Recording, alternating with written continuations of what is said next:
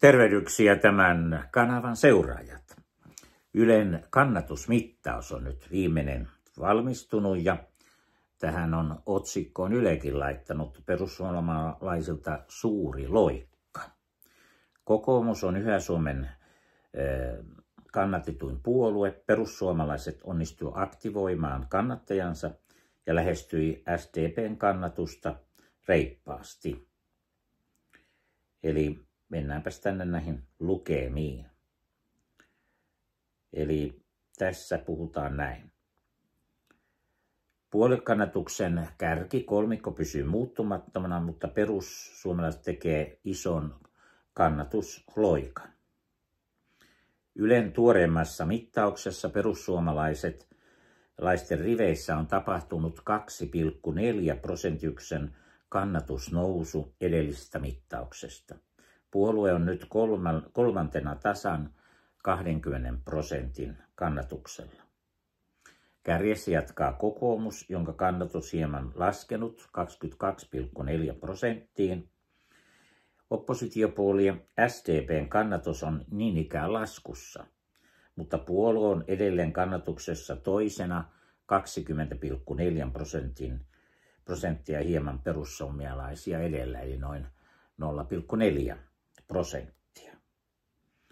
Ja sitten keskustapuolueen mittauksessa saatiin 10,8 prosenttia mielenkiintoista, koska Saarikko epäili, että keskustan kannatus ratkaisevasti nousisi tämän presidenttivaalikampanjan Olli Reenin mukaan, mutta mitään sellaista ei näytä tapahtuneen. Pientä nousua, mutta aivan kuitenkin vain 0,7 ja tilastollisesti se ei liene kovin merkittävää.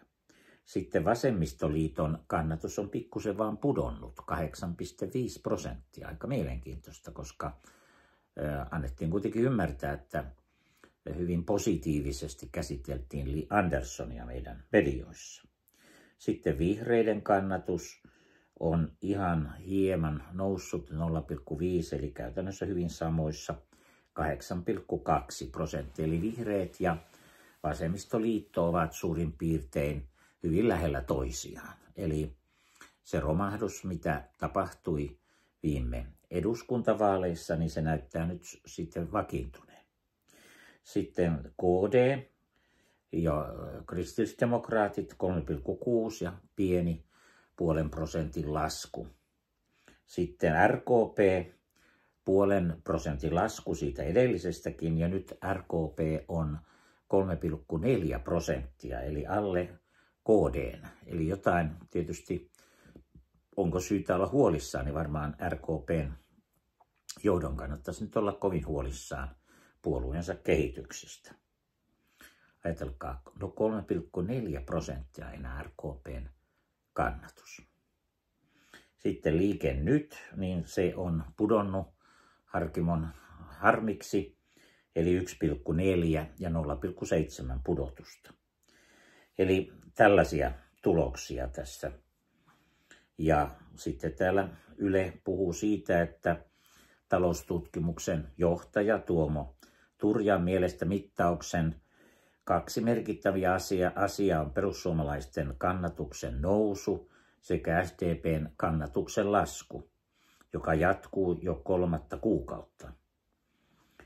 Eli tässä on sitten tämmöinen käppyrä, missä, missä tuota Ylellä näkyy tuota kannatusta.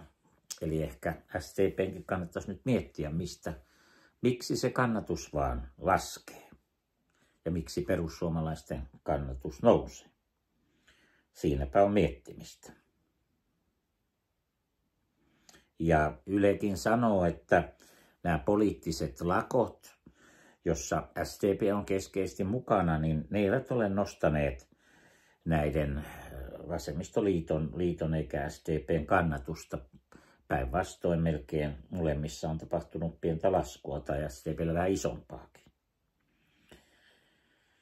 Eli tällaisia asioita tässä Ylenkin äh, tilaamassa tutkimuksessa on. Ja mikä on mielenkiintoista, kun tässä tätä Orpon hallitusta on pyritty arvostelemaan kovasti ja verrattu Sipilän hallitukseen, niin Orpon hallitus on tuota, ohittanut tämän Sipilän hallituksen niin kuin suosiossaan. Sinänsä hyvin mielenkiintoinen asia. Ja tässä todetaan sitten tämä, että, että RKPn tilanne on, tämä tutkimuslaitoksen johtaja sanoo, että se on hyvin hankala, koko ajan ollut alaspäin ja siinä on se vaara, että RKP, siitä tulee ihan marginaalipuolue, se on jo aika pieni. Ja sitten tuota, keskustan tämä hyvin pieni nousu niin on varmasti iso pettymys, kun Saarikkokin arveli, että nyt keskustan kannatus on kovasti nousussa, niin mitään siihen viittaavaa ei sitten ole tapahtunut. Eli tämmöisiä, tämmöisiä tuloksia ja miettikää, mitä nämä tulokset nyt sitten tarkoittavat. Jokainen teistä osaa varmasti ihan fiksusti miettiä sitä. Ja tilatkaa kanava, kommentoikaa ja peukuttaakin saa. Kiitos teille oikein paljon. Hei hei!